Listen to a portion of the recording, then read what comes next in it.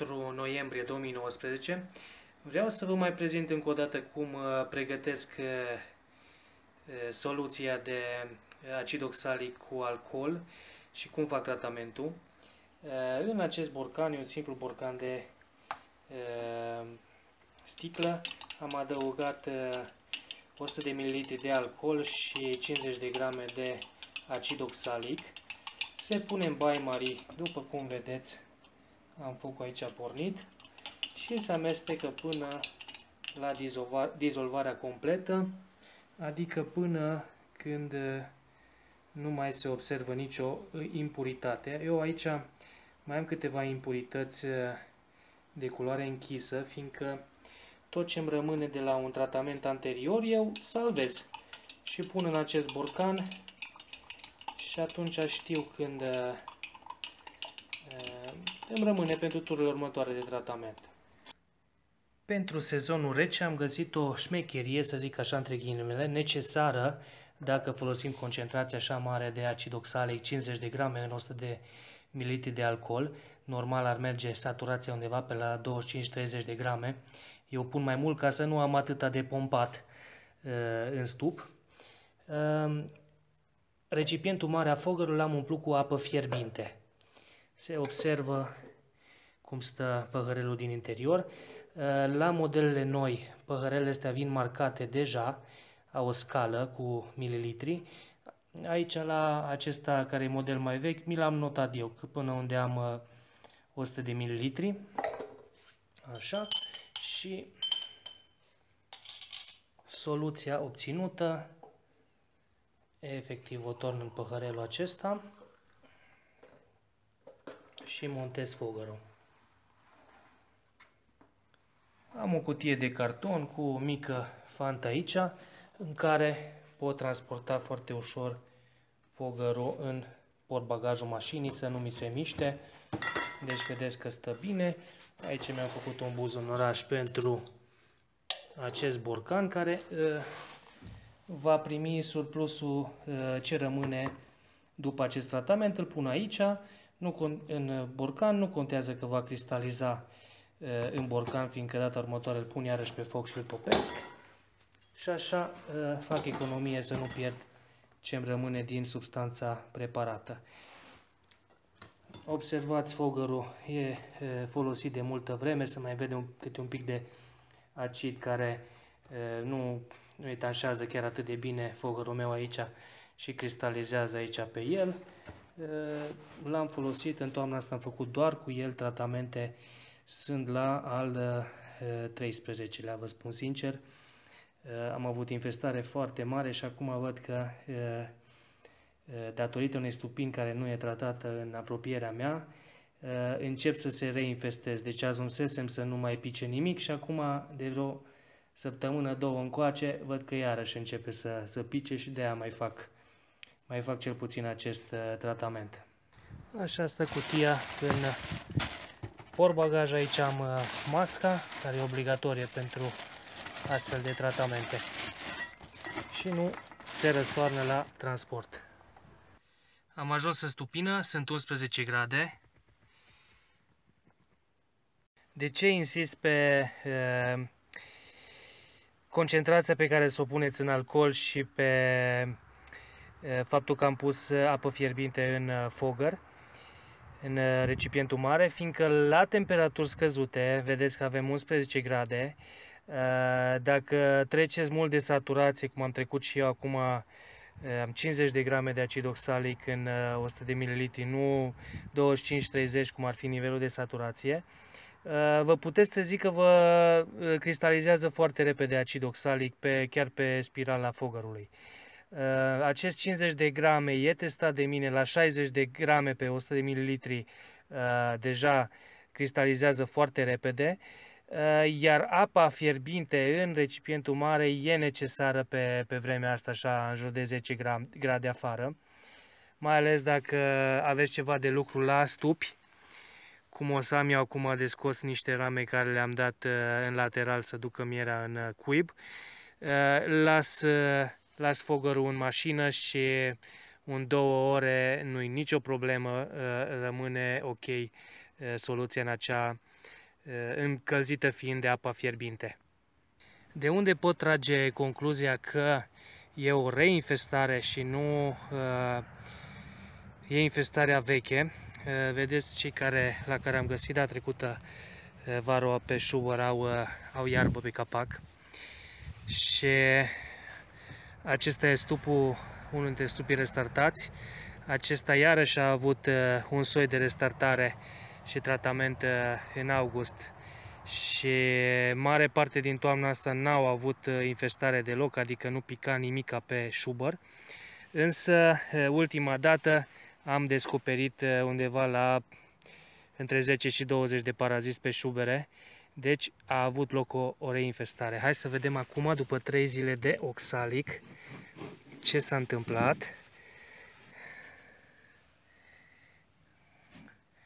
Am aici niște albinuțe, fiindcă vă spuneam că am descăpăcit și a picurat probabil miere pe, pe șubere. Acum nu arată foarte rău și mă bucur. Uite, începem să-i numărăm. 1, 2, 3, 4, 5, 6, nu știu, nu văd chiar exact acum, 7, să fie iarăși vreo 10. Să vedem și la celălalt.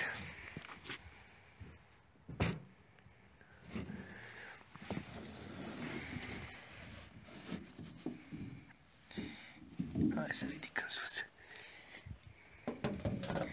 La fel, nu e foarte rău, dar mi-a tras un semnal de alarmă. 1 2 3 4 5 6 7 8 9 10 iarăși undeva peste 10 probabil. Aici am mai văzut un 11 deci infestarea așa între 10 și 20 uh, pe, uh, pe șubăr. De asta mai încerc să uh, mai dau încă câteva administrări de acid oxalic. Observați că stupii încep să fie pregătiți pentru, pentru iernare. Le-am luat corpurile adiționale, unirile sunt făcute, sunt restrânși aproximativ pe numărul de rame care vor rămâne la, la iernat.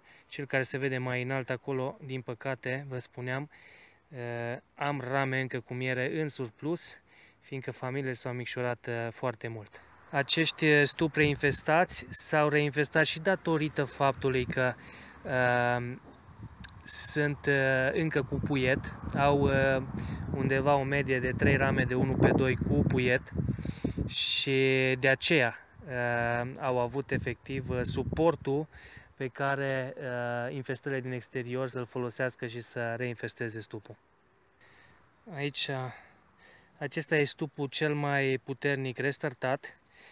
Îl voi erna undeva pe 7 rame și în 3 zile de oxalic au picat undeva la 58, am numărat. Folosesc paiul ca să îmi fac niște coloane așa de numărătoare.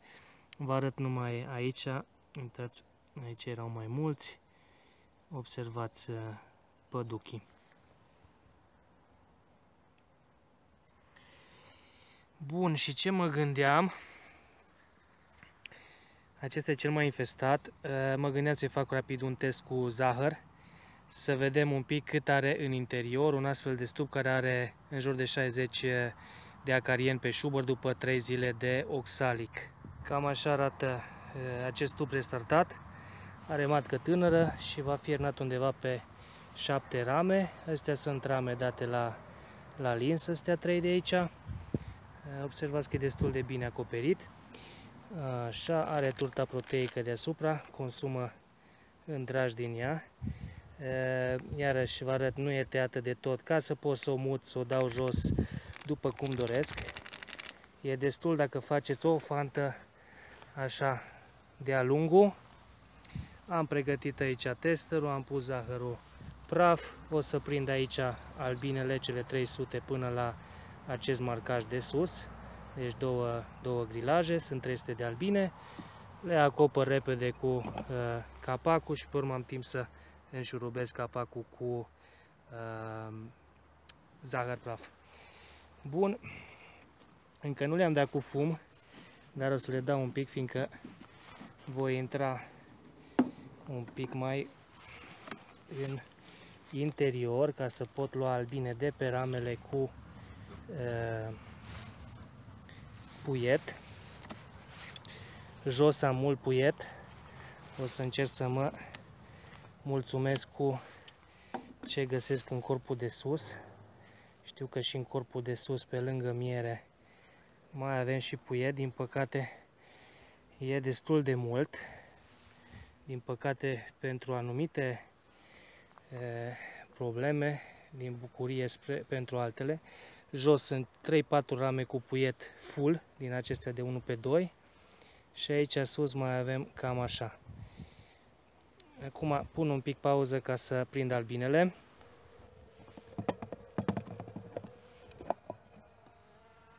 Cele 300 de albine. Le scuturăm cu zahăr.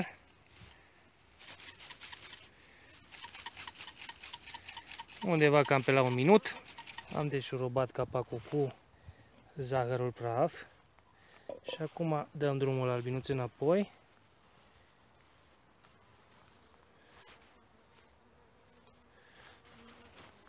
Ele nu mor, se vor retrage în, în stup.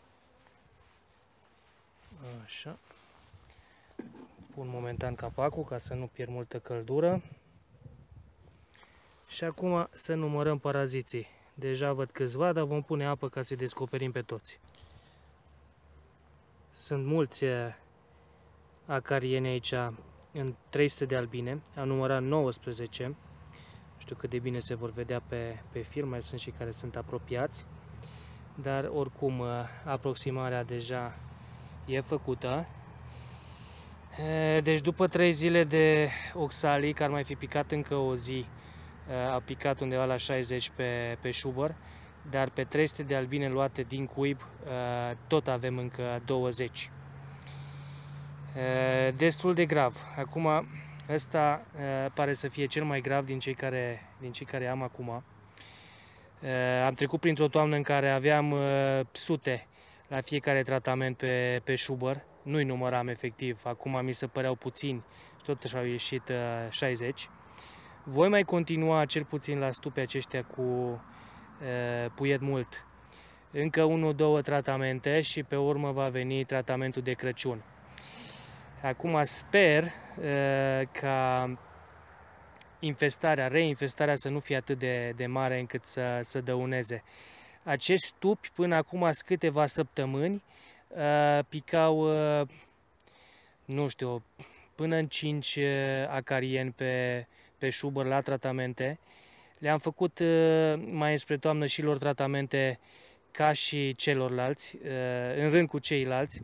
La ceilalți picau mulți, la aceștia mai puțin, dar uite că acum, datorită faptului că uh, au puiet mult, au început să se reinfesteze. Însă problema nu este neapărat că au puiet mult, problema este că în foarte aproape de, de stupina mea am, am o stupină care știu că nu e tratată și acolo nu știu, nu știu ce, ce se întâmplă, dar eu văd la mine reinfestări eh, masive. Deci cam așa arată momentan unul dintre stupii restartați și nu era cel mai puternic atunci. Ehm, păcat, păcat cu reinfestarea asta, că altfel, eh, deci efectiv, eh, îmi place. Îmi place cum arată această familie. Observați și pe ultimele rame, e albină. Astea trei trebuie scuturate, au fost date la lins. Uh, urmează tratamentul cu, cu acid oxalic și pe urmă văd în săptămânile următoare ce, ce mai fac.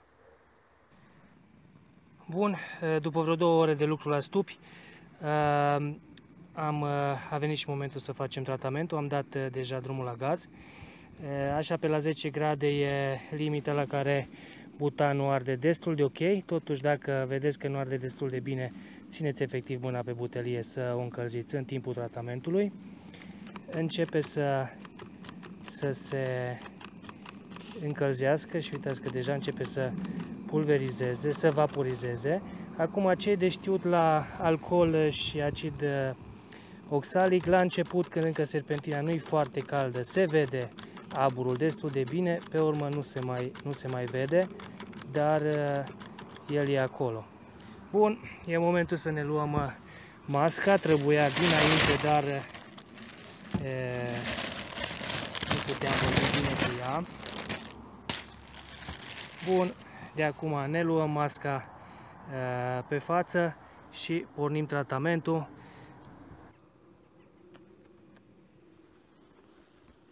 Așa.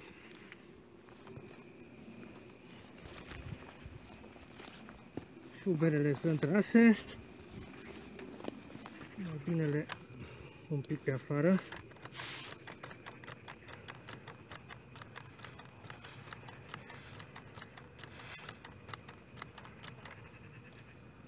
Și ce am observat undeva între 1 și 2 pufuri per ramă cu albine, de fapt per, per spațiu din stup. Dacă avem 12 uh, rame, cum am eu aici, chiar dacă nu sunt toate pline cu albine, dau undeva între 1 și 2 uh, pufuri pe ramă, deci între 12 și 24.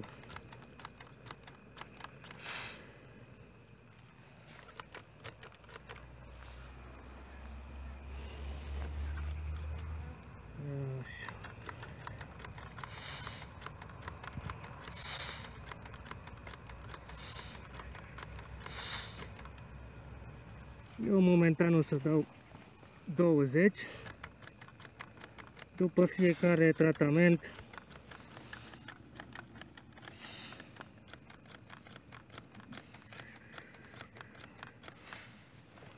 analizez câtă substanță a rămas în uh, fogăr